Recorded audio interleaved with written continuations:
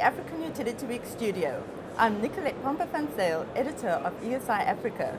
Today I am speaking to Dapo Akinosun, who is the advisor, special advisor to the vice president on the task force for power in Nigeria. He is also the managing director of um, uh, Simmons Cooper Partners. Welcome, Dapo. Good evening. How are you today? Thank you for joining us here. Um, I'd like to start um, with looking at policy and regulatory environments in Nigeria. What can we expect coming out of the country in, say, the next year? In terms of the policy, the government is looking at uh, helping the generating more power and delivering to the people of Nigeria. So the policies are geared towards supporting the weak areas in the power delivery sector, some of which is the distribution of electricity that is generated already. Plenty of it is lost in transmission, a lot of it is lost to commercial losses, technical losses, even at the point of distribution, that it doesn't reach the homes. And there's also power theft. So the government is looking at strengthening that area to enable power be delivered to homes by increasing distribution capacities, supporting the rollout by the Niger Delta Power Holding Company to build more distribution centers and strengthen transmission lines. Right now, the transmission has also been concessioned out to a, an international company so that it would develop faster than being in the hands of individuals. But government is still looking at that. In terms of regulation, the weak area has been collection of monies by the distribution companies to pay back the generators.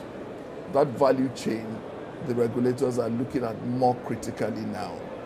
Starting from the, from the uh, dis distribution companies, the government is trying to ensure that they're accountable for all the monies collected and also trying to make sure that they put more investments in that sector because they took over these assets. They were old, they were aging, but many of them understood that. They've had challenges with the fluctuation in the naira rates, the exchange rates, but the government is saying most of these things you knew they were they were business risks you took, and it is very likely that government is going to look harder on those areas and say we need to review your understandings at the time you took over and make sure you invest more. Right. So, so with a, a, really impactful regulatory environment, then projects can be developed. So uh, can you talk around uh, what projects are currently underway uh, or ones that uh, have just foreclosed? Projects that are underway in Nigeria to help for um, the Nasarawa state, there's a distribution company, that distribution center that is being built to move power to the north the government has just recently concluded the transmission lines in Calabar axis yeah. in the southeast, which gives more, takes power out of that area, which was built by the Niger Delta Power Holding Company.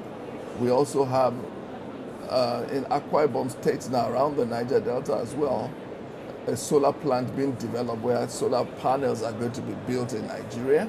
Right. And we have uh, quite a number of other power projects being developed along the line. A lot of IPPs, the Azura is going to be ready in another year.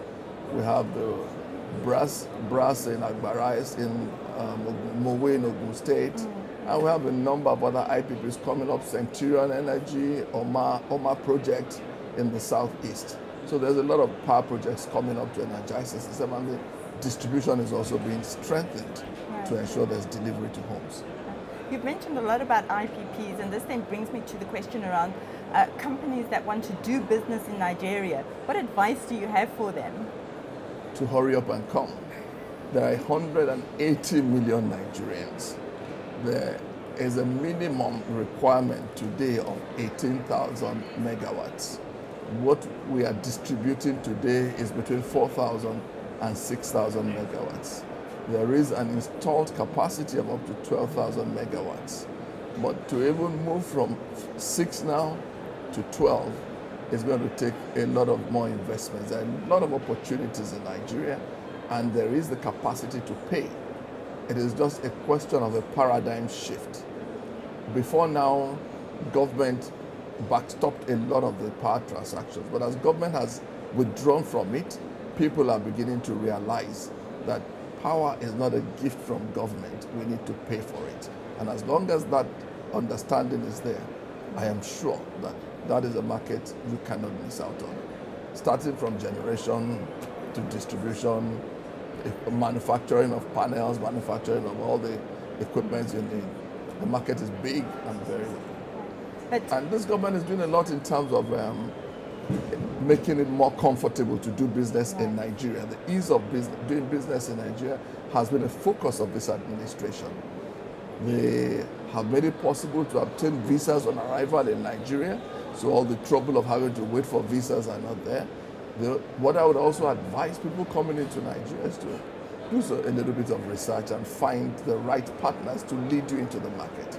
But of course, I mean, using lawyers and other people like that will help you to settle in comfortably and quickly, but definitely there are a lot of opportunities. So with the, the, the policies making uh, doing business in Nigeria much easier uh, and more accommodating to international companies, what do you predict in terms of the power and energy sector in the coming year? In the coming year, I see the power generation increasing. I see the distribution becoming more effective. And uh, I see going, Nigerians are even going out now to invest in business. Such a big opportunity, such a new area, a lot of education, a lot of knowledge is coming into Nigerians who did not know about this. But because of the privatization of the industry, Nigerians are taking it to another level.